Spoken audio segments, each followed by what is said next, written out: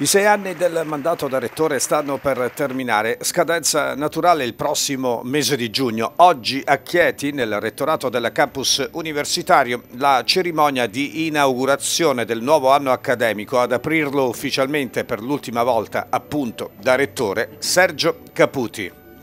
Rettore, che consuntivo possiamo fare di questi sei anni? In questi sei anni devo dire eh, io ho ereditato una situazione un po' particolare all'università.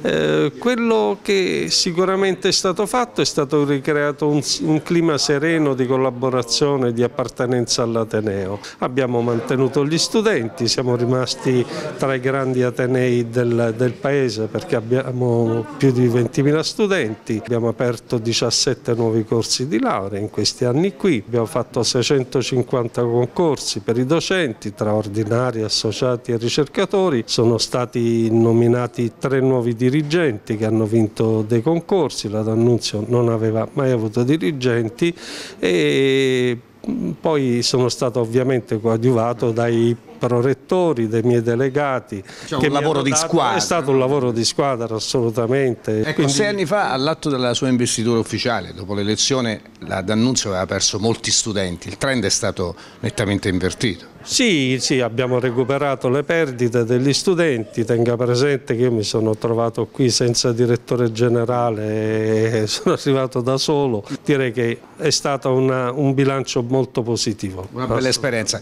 Ce l'ha sì, un rimpianto?